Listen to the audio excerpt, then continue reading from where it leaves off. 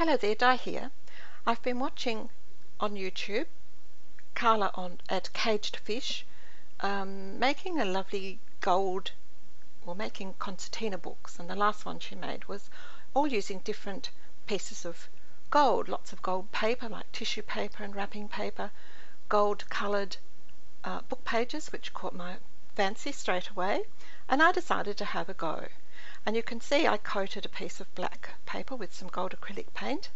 Then I got out the Inka gold and the Gilder's pastes, the Kaiser mists, antique gold, the Mr. Huey's gold, and the Lindy's uh, Tibetan poppy teal that I used a little bit of. And I got busy on some book pages and that one at the very top it says arty farty, which I thought was rather rather cute. It was just a page I pulled from the dictionary, very appropriately.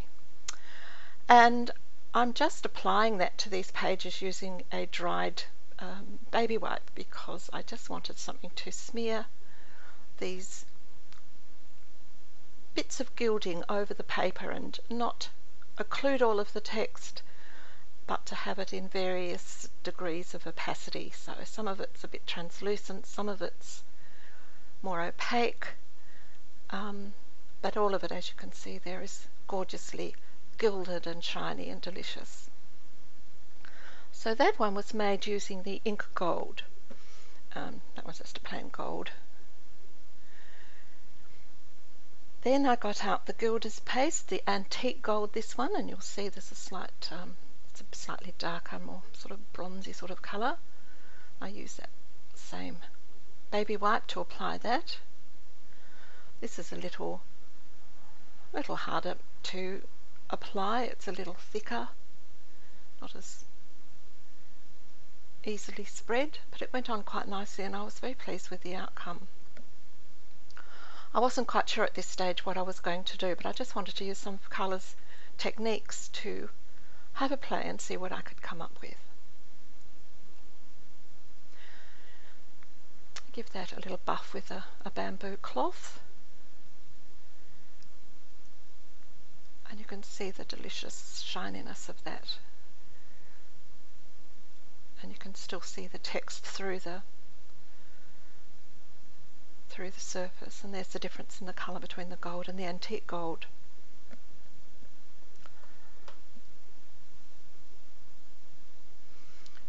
The next one I do is using the Gilder's paste too, but um, patina.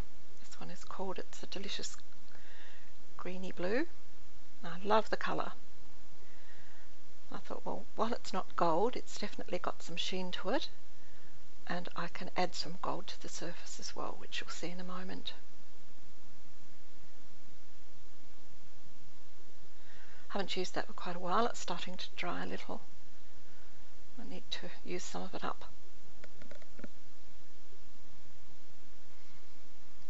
Spreading it out fairly thinly and putting it on in quite a few layers which uh, sort of built up the colour quite nicely as you can see there. It's a very pretty colour and was just as shiny in the, in the end as the as the more golden ones.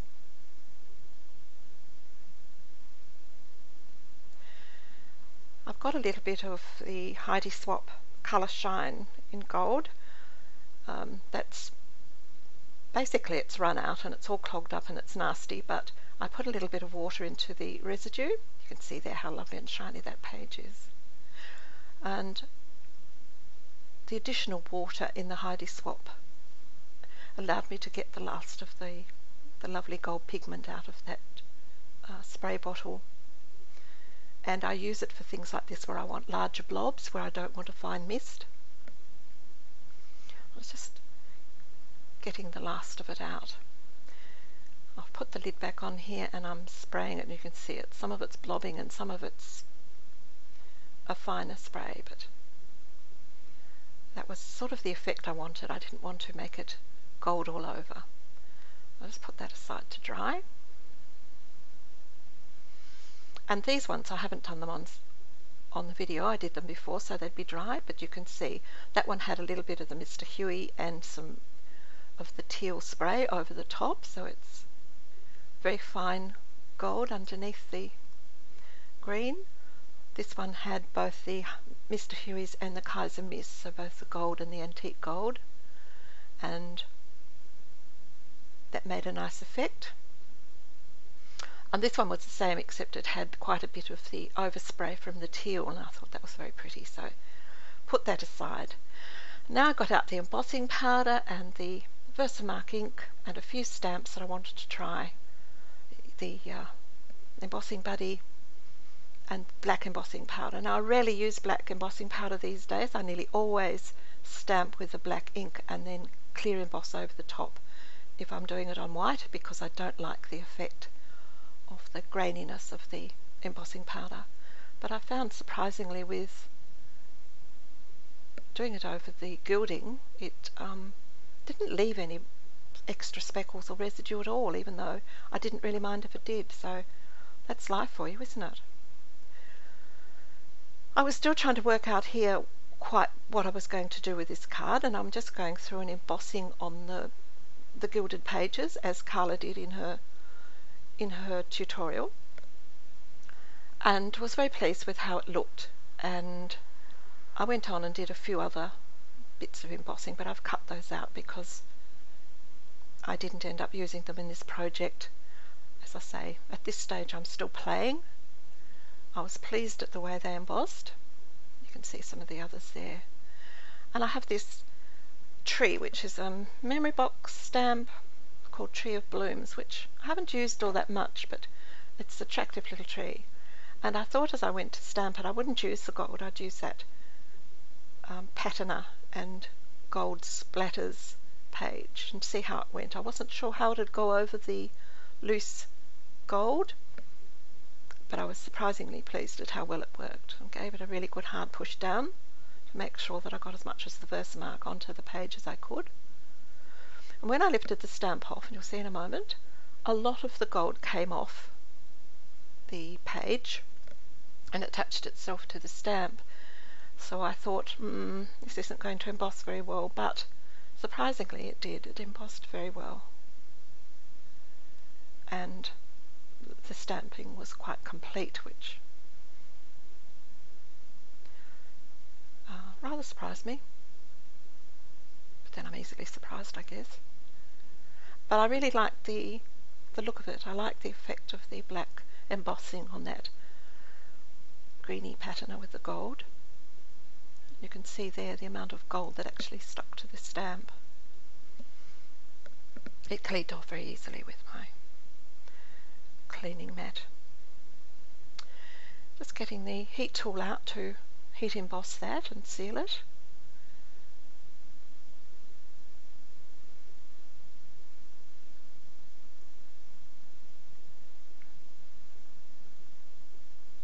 Getting the heat tool nice and hot before you start. Uh, make sure that you don't warp the page too much with the heat, though I find the book pages don't warp nearly as much as some of the cardstocks.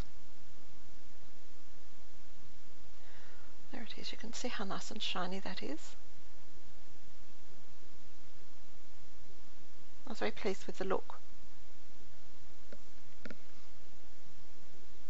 So I decided that was going to be the one I used for the card. So I got out the black and gold piece that I'd prepared earlier.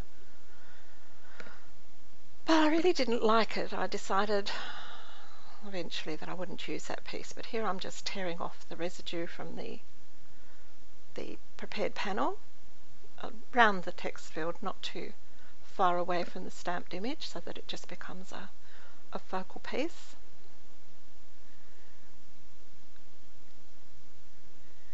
The edges a bit raggedy.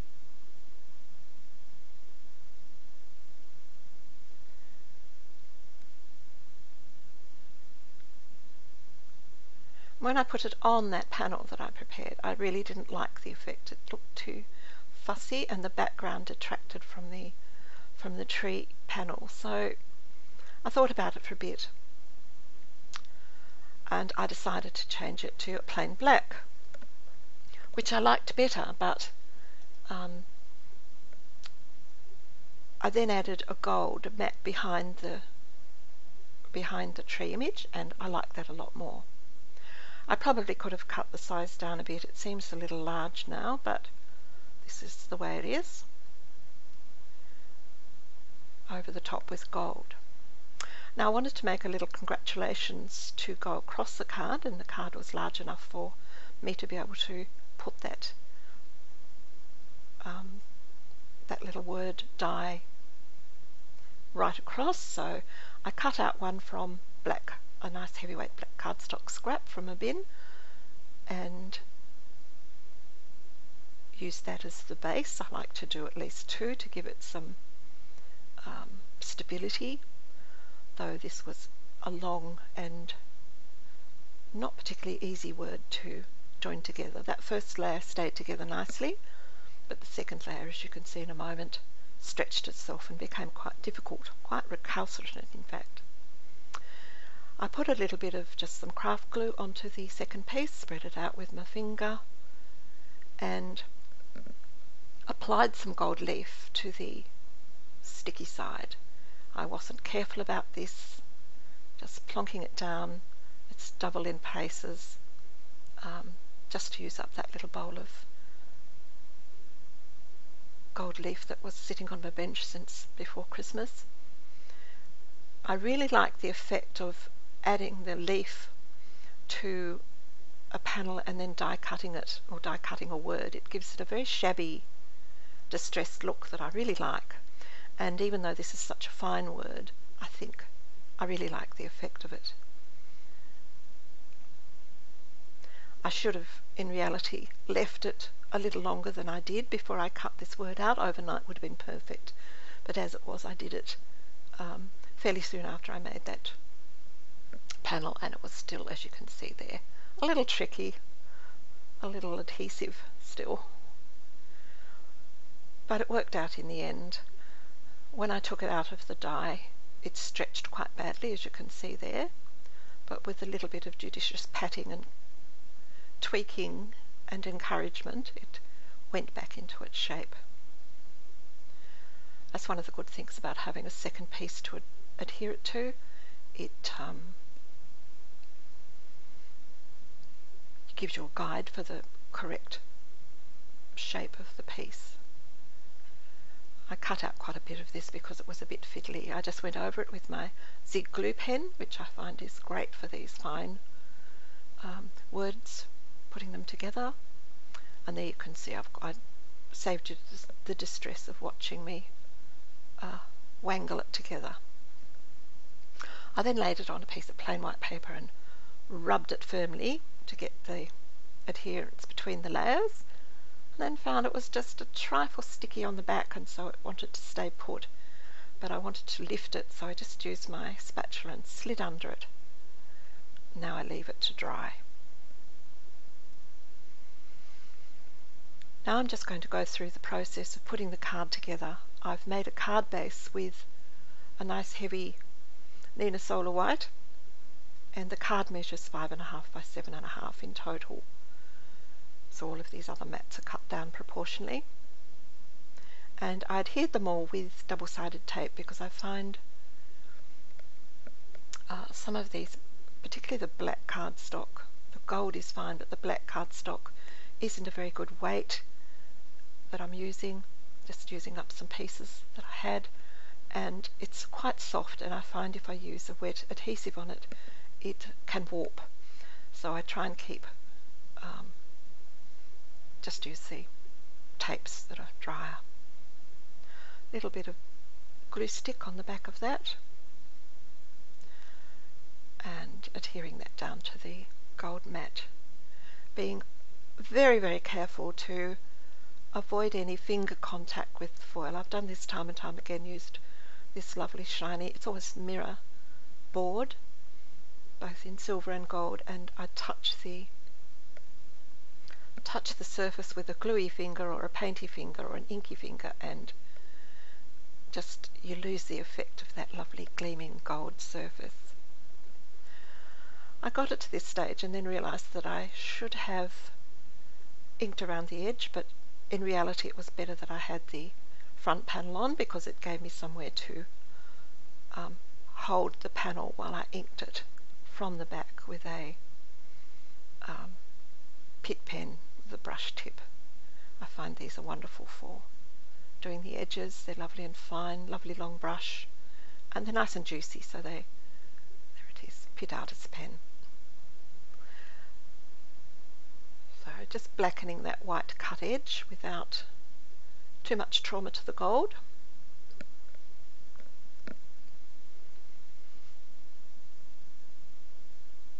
Making sure that that piece of paper hasn't got anything on it. I'm determined to keep this one neat and clean. Now adding some tape to the back of the gold panel.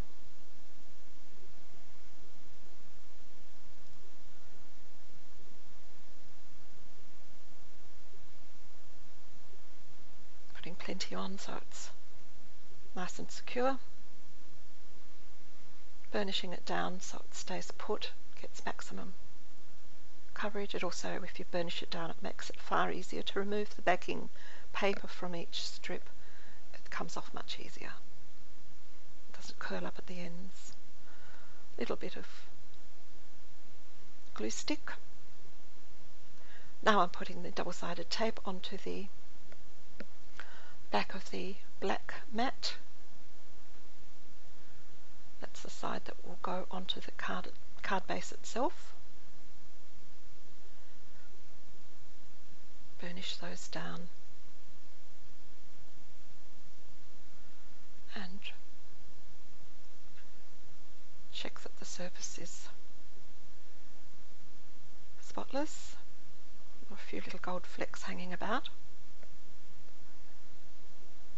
not that you would have noticed them with all the other gold and adhering the gold mat down onto that so that's the whole panel ready to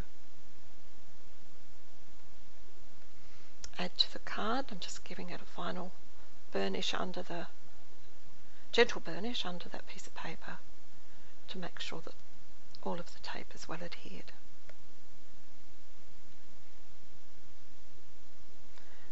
A mark there, but a dry tissue and a very gentle rub just removes that. Off with the tape backing, glue stick, and you can see the card base there ready waiting.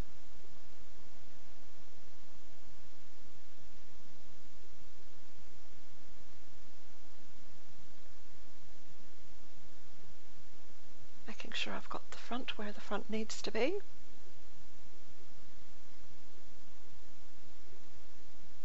Sorry about the head, I've I keep forgetting. I've really got to look at the camera position and or zoom in a little more so it avoids my head.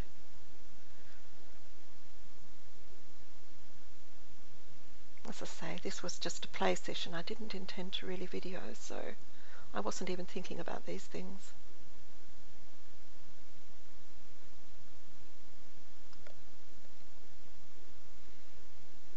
That little congratulations word is now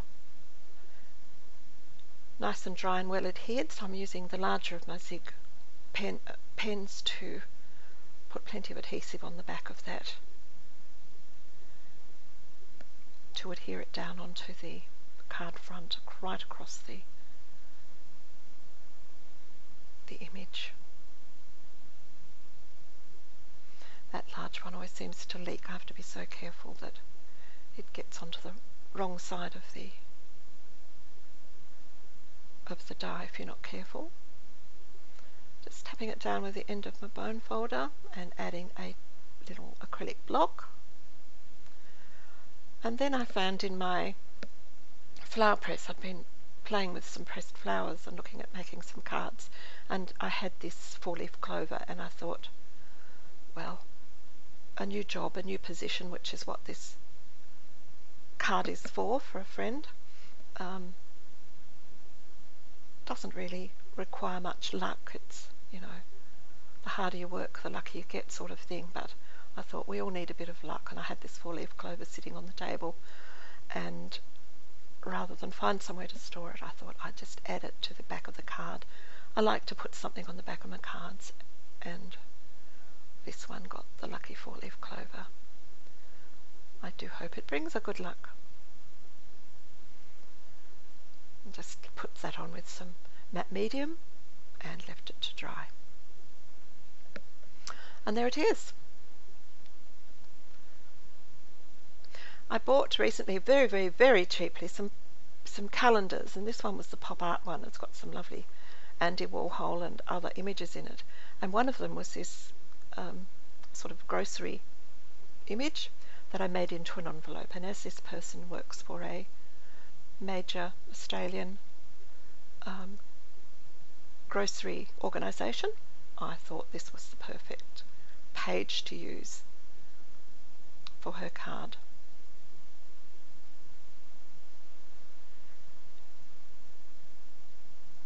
As it got a can of fruit on the front. That's it. There's a couple of these still photos. Thanks so much for watching, and I'll talk to you soon. Bye for now.